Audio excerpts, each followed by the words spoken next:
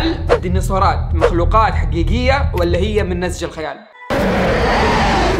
أكيد لما أقول لكم ديناصورات فيجي ببالكم صورة معينة، الصورة هذه اللي رسخت لنا إياها الأفلام والمسلسلات اللي تكلمت عن عالم الديناصورات، إنها كائنات ضخمة جدا لدرجة انه الأرض تهتز بخطوات بطيئة منها، لها صوت مرعب وعالي وأسنانها حادة، يمكن لو ديناصور صرخ من قوة صرخته يفقع لك طبلة.